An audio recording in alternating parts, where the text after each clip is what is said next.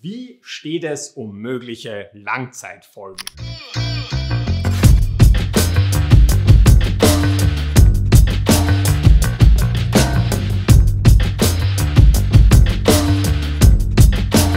Es gibt ein bisschen Verwirrung rund um diesen Begriff der Langzeitfolgen.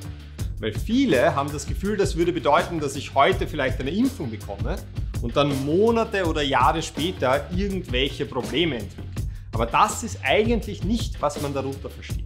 Eine Sache, die man aus der Geschichte der Impfungen gelernt hat, ist, dass wenn Impfungen zu langanhaltenden Problemen führen, was glücklicherweise wahnsinnig selten vorkam, dass sich diese Probleme in aller Regel innerhalb der ersten zwei Monate zeigen.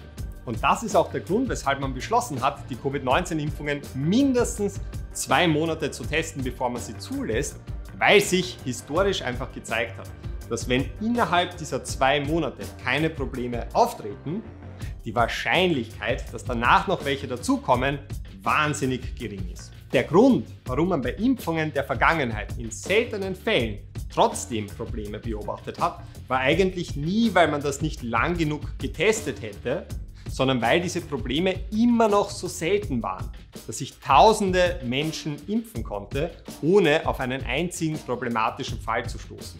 Ab einer Studiendauer von zwei Monaten ist die Länge der Versuche gar nicht mehr so bedeutsam, sondern vor allem die Größe der Versuchsgruppe.